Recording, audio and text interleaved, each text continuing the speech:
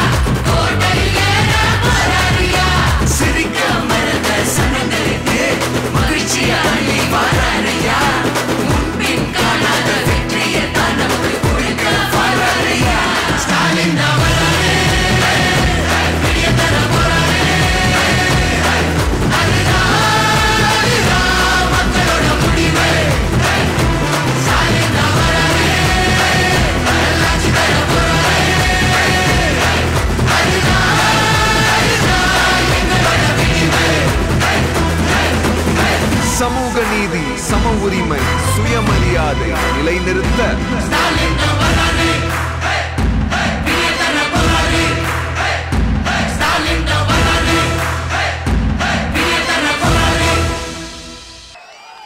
இந்த மாவட்டத்துக்கு இந்த மாவட்டத்துக்கு ஒரு அமைச்சர் இருக்காரு.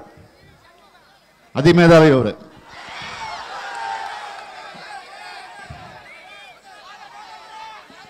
அவர் பேரு சி வி சண்முகம். அப்படிதானே? அதிமேதாவி.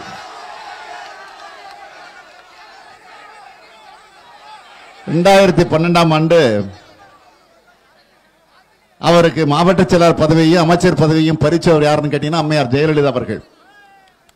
மறந்திருக்க மாட்டீங்க. அவருடைய மாவட்ட செயலாளர் பதவியும் பறிச்சாரு அமைச்சர் பதவியும் பறிச்சாரு.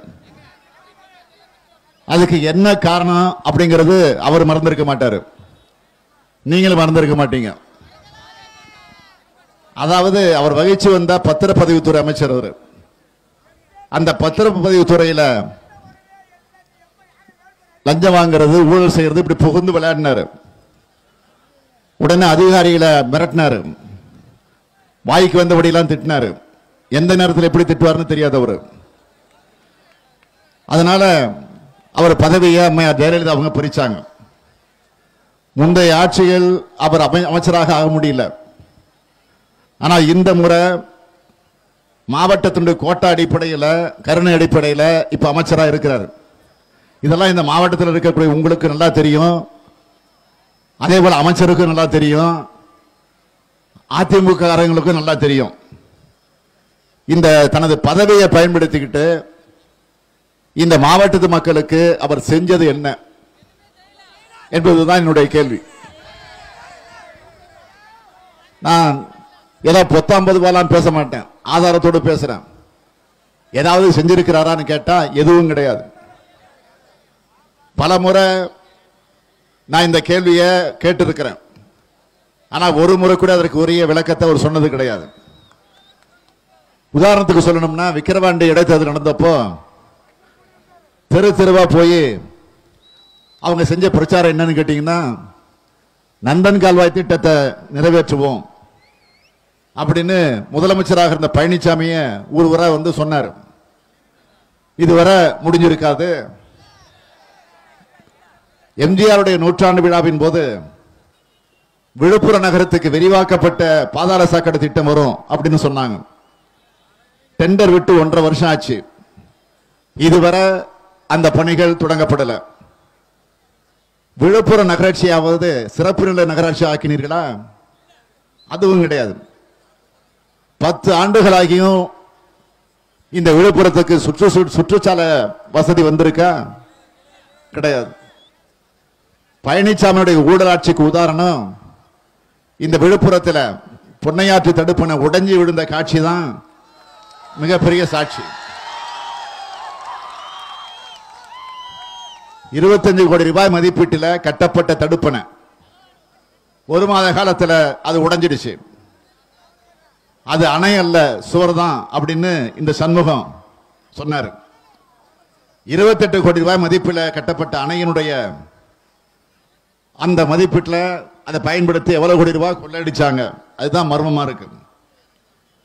ஜெயலலிதாவுடைய மர்ம மரணத்தில் மர்மம் இருக்கு அப்படின்னு சுகாதாரத்துறை செயலாளரை விசாரிக்கணும் அப்படின்னு சொன்னது யாரு? இந்த சண்முகம். இதை சொல்லி அடுத்த நாளே அதை மறந்துட்டாரு. சசிகலா எங்களுக்கு சின்னம்மா இல்லை அம்மா அப்படின்னு ஒரு நாள் ராத்திரி சொல்றாரு. மறுநாள் காலையில் காலையில தான் அவர் அதே அதிமேதாவின்னு சொன்னேன்.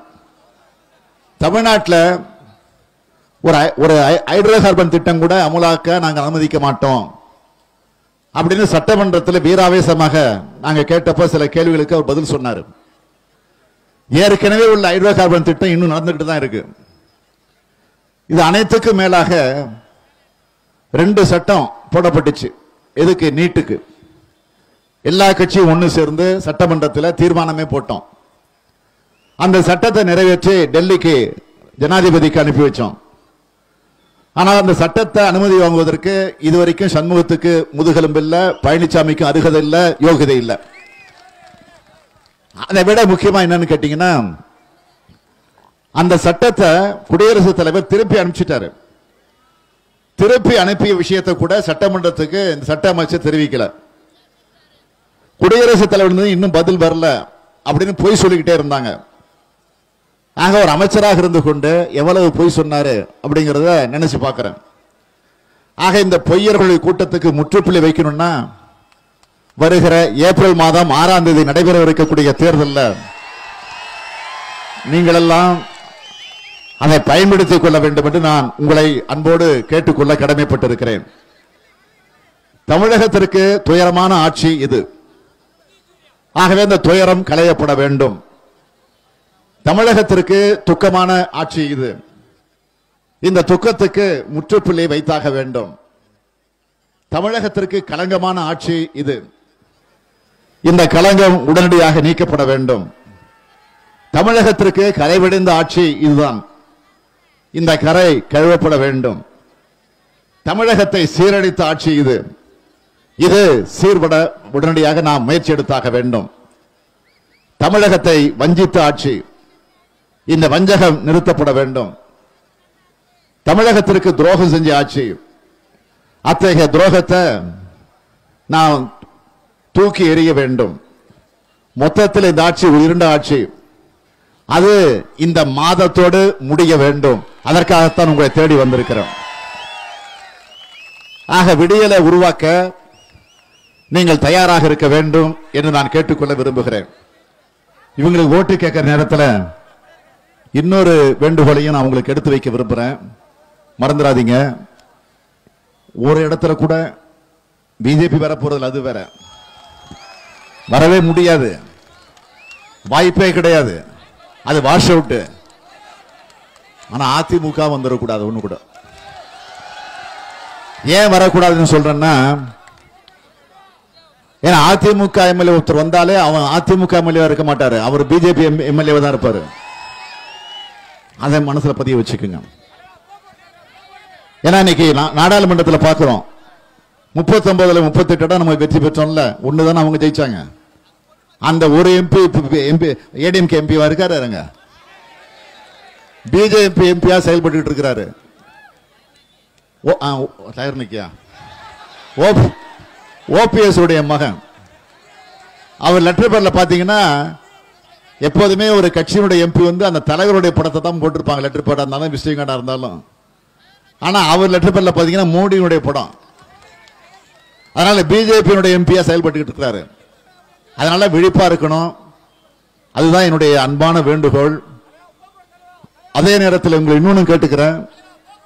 இப்போ வேட்பாளர்களுக்கு நான் ஓட்டு கேட்டேன். இந்த வேட்பாளர் ஓட்டு கேட்கிற நேரத்தில் நானும் ஒரு வேட்பாளர்ங்கிறத மறந்துடாதீங்க.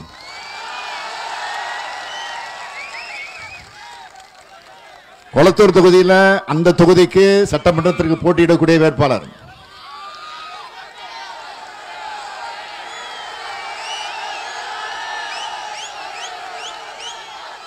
என்ன வேட்பாளர்? புரியுதா உங்களுக்கு? புரிஞ்சிருச்சா?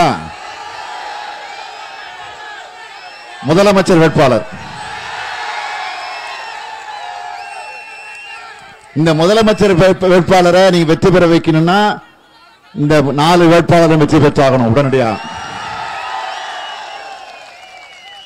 இவங்க வெற்றி பெற்றாதான் நான் முதலமைச்சர். நான் முதலமைச்சர் ஆகணுமா வேண்டாமா? அப்ப இவங்க வெற்றி பெற வச்சிருவீங்களா நன்றி நன்றி நன்றி. வணக்கம்.